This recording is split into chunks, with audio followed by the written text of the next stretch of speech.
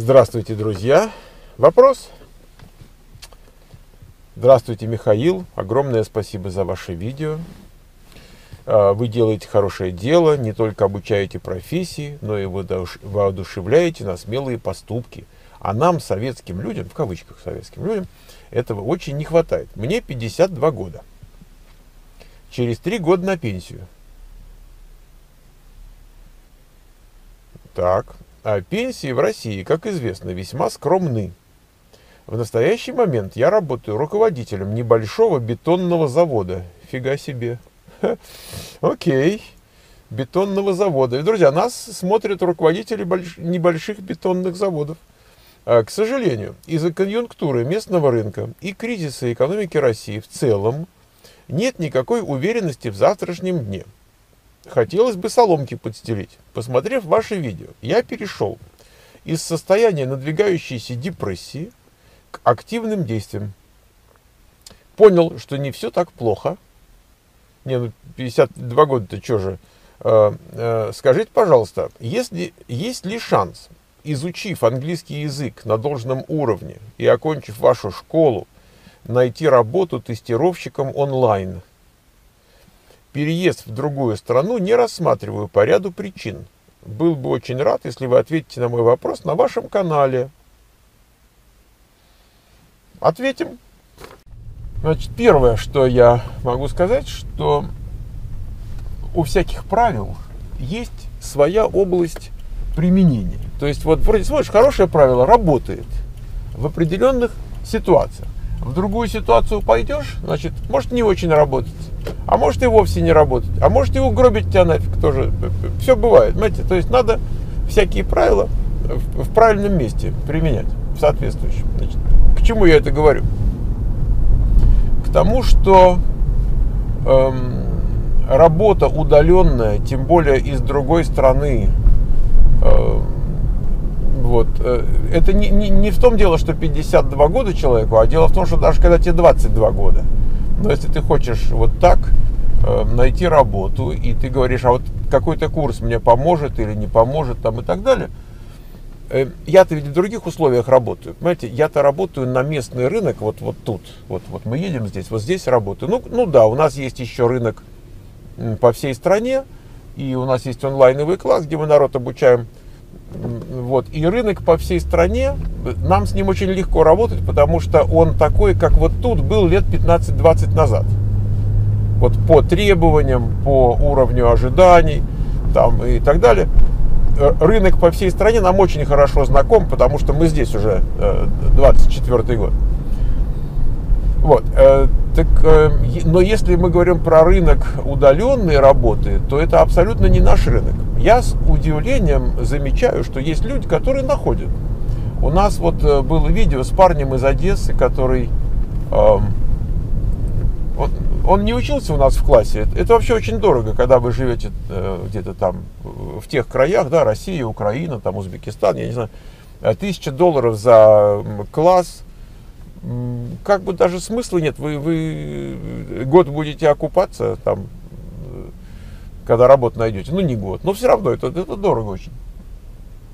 И если у нас учатся люди, которые живут где-то за пределами, скажем, Северной Америки и Европы, у нас бывает, есть народ из Европы немножко в онлайн-классе, то в основном это люди, которые собираются скоро приехать и работать в Соединенных Штатах. То есть они уже как бы больше э, в ценовых диапазонах, так сказать, западного рынка находятся и так далее. И вот у нас был паренек из Одессы. Он, э, по-моему, он наш курс, вот, тот, что на русском языке висит, он, он его прошел, может быть, книжек еще почитал, я не помню деталей. Но он, он инвалид э, и, и такой колясочник. Вот. И он нашел работу там на Кипре где-то. Вот была какая-то российская компания на Кипре, искали. Вот он нашел работу. То есть, понимаете, сказать, что это вообще невозможно – Э, я не могу. Но сказать, что это вот э, так же, как просто работу искать, я тоже не могу. Ну, у меня, с одной стороны, опыта такого нет. С другой стороны, я понимаю, что это рынок очень небольшой по масштабам своим. И, кроме того, на этом рынке очень много людей, которые, наверное, имеют более высокую квалификацию и, и согласны были бы там работать за те же деньги. Понимаете? Потому что жить там, там, где дешево, а зарабатывать там, где много платят, это, это сказочная ситуация. И у вас будет много конкурентов. Это непростой процесс. А, когда вы приходите, или скажем так, наш студент приходит в Портнов Computer School, американский студент, эм, он помимо того, что он может чему-то научиться, эм, вот еще кое-что к этому получает. То есть, например, для того, чтобы научиться, вы можете, если вы такой человек самостоятельный, там, директор завод, там, привык сам на себя брать, там, и тащить и так далее, вы можете в, в ютубах там смотреть видео, вы можете читать книжки, вы можете за 10 долларов там где-нибудь взять курс там на Udemy, можете взять три курса по 10 долларов на Udemy, у вас будет а, потратить аж 30 долларов и так далее. То есть какое-то знание, оно, оно в общем-то, и денег не стоит. Вот можете наш курс на русском языке слушать, он бесплатно висит. А, почему люди платят больше денег и вообще платят какие-то деньги? Потому что их нужно организовать э, в каком-то процессе. Так? Это, это, для этого нужен кто-то извне. Кроме того, там идет процесс э, поиска работы, и сколько бы вы классов не брали там, и где бы вы их не брали, это не приблизит вас к пониманию того, как ищется работа. И это как бы такая фишечка нашего курса и нашей школы, и проекты, которые мы делаем, они потом в резюме идут, и референсы, и, в общем, целая такая махина, которая делает ваше резюме привлекательным, когда вы пойдете на рынок, понимаете, и она вас как бы подстраховывает. Эм, но если вы не собираетесь искать работу на этом рынке, то какой же смысл? Понимаете? То есть э, та ценность, которая в нашем курсе есть, э, в смысле вот ударной такой силы по поиску работы, эм, вы, вы этого не получите. Поэтому, значит, возвращаясь к вопросу, э, конечно, неплохо учить английский, так? При любых обстоятельствах. При том, что 52 года это возраст совершенно не запредельный. Ни для английского, ни для технических дисциплин. Там, вот, во всяком случае, таких как тестирование, так точно. И вы можете подучить язык, вы можете подучить э, предмет. Э, особенно хорошо, когда вы будете изучать язык на примере вот этого предмета. Потому что учить английский вообще можно всю жизнь и так ничего не узнать особо.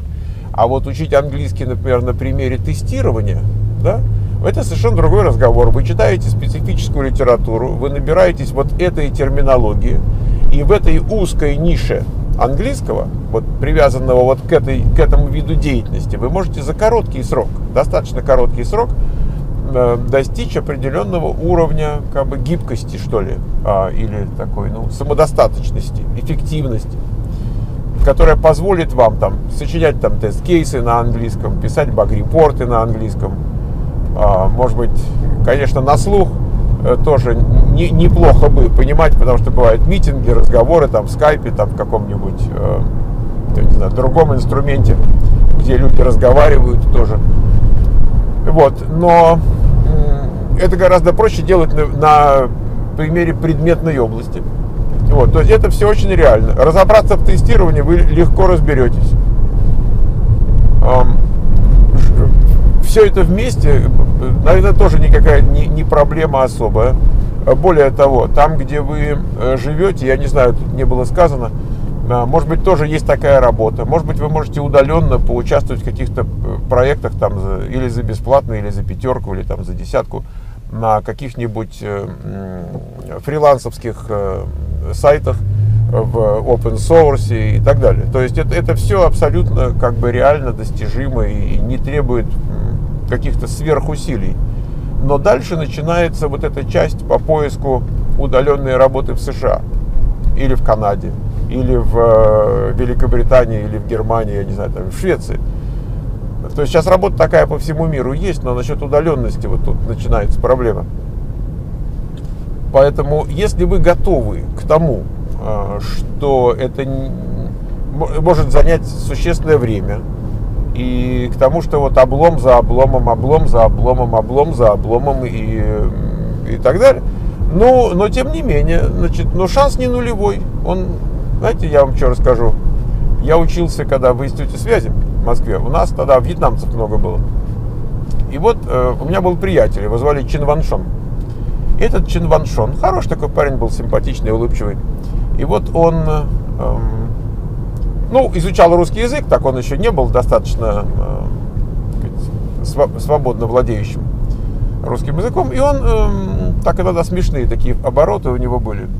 Там его, ну, там спрашивают студент, а вот во Вьетнаме вот это есть, а там, а вот это есть, а вот это есть. И он, когда хотел сказать, что есть, но как бы редко встречается, он говорил, есть, но не бывает. Вот такая у него была интересная фраза, есть, но не бывает. Вот то же самое мне хочется как бы его словами, там, а вот можно вот так, говорит, есть, но не бывает. То есть вероятность невысокая и не так просто это все и так далее, но есть, есть, конечно, есть. Вот тут я уж ничего не могу сказать. Э, эм, насчет иммиграции, эм, может быть, оно и хорошо, что вы так не, не стремитесь, потому что это, это не простой процесс, может быть, гораздо более сложный, чем найти работу удаленную, потому что все-таки надо, решить очень много вопросов, тем более не то, что вас зовут в эмиграцию, а вы думаете, а ну и не поеду. Это же, это же обратный совершенно процесс, и он очень сложный, поэтому Эм, я думаю, что решать это все без эмиграции проще, чем, чем с эмиграцией. Так что такой вот разговор. Давайте мы пожелаем э, как бы успехов и тому человеку, который вопрос задает, и тем, кто, может быть, и помоложе, я про постарше не уверен, но, тем, но задается примерно таким же вопросом. Примерно таким же вопросом. Э, вообще, если вы собираетесь учиться где-то онлайн, э, имейте в виду, что это, это очень э, такой процесс, требующий организованности, и не так много людей в состоянии вообще онлайн учиться, потому что надо иметь какую-то дисциплину, надо ну, вот как-то организационно, да, вот столько-то часов каждый день, не отвлекаясь, и так далее, это, это довольно сложно. То есть, когда вот ты в класс, ты уже пришел в класс, там вокруг тебя люди, среда тебя организует. А в случае, когда ты сам учишься, то ты уже там не, не половину э, должен выучить сам, а 95% должен выучить сам. Не, не в классе, вот не, не, не в этой комнате. Вот. И тогда получается, что сложно. Понимаете, есть люди, которые не могут. Я, например, не уверен, что я могу учиться онлайн. Мне не приходилось особо. Ну так, по мелочи, там какие-то тесты, там я что-то. Ерунда. А так, чтобы по-серьезному учиться в онлайн, я не уверен, что я могу. Может и могу, не, не знаю. Э, поэтому, когда вот товарищ спрашивает, что там, могу ли я и насколько это реально, но он все-таки начальник какой-то там на предприятии, поэтому я думаю, наверное, начальник должен быть в состоянии. То есть все-таки у него Э, должны быть такие качества, без которых начальником не станешь. Поэтому за него я как бы не беспокоюсь. Вот. А так, конечно, все, все неоднозначно. Так, все требует э, каких-то вот специальных рамок, да, э, в которых правило работает или не работает. Можно ли? Да. Вот в этих рамках можно. Вопрос, ты в этих рамках или ты в других рамках? Вот это область применения. Да? То есть, когда мы говорим о чем-то, и вы слушаете, вы спросите себя, а я нахожусь вот в той области применения, э, в контексте которой идет сейчас разговор. Понимаете, иначе, иначе мы можем э, как бы совсем себе навредить. Знаете, так, если, если не из контекста куда-то забрать, то может смысл поменяться на противоположный. Счастливо!